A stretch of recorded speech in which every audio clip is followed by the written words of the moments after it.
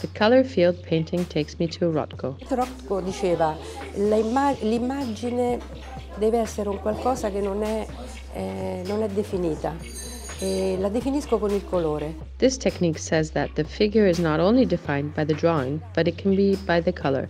Even one or two colors can represent intense emotions, and this is a form of abstraction coming from the unconscious. Che viene dall'inconscio.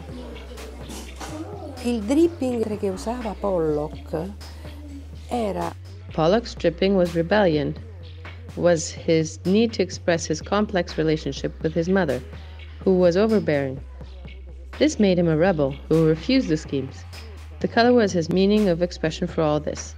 Grande, insomma, combatteva no? l'idea di questa madre a detta sua prepotente, no? lui era il più piccolo di cinque figli e quindi si sentiva un po' soggetto da, questo, da questa figura.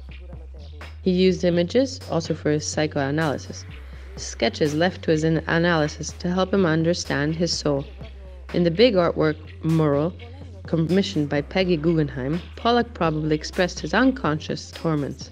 After months of creative block, he realized it in the first day of 1944 in the grip of a vision coming from his childhood years in the West. Pollock era stato proprio in analisi perché aveva, mm, sicuramente aveva delle espressioni che erano inusuali.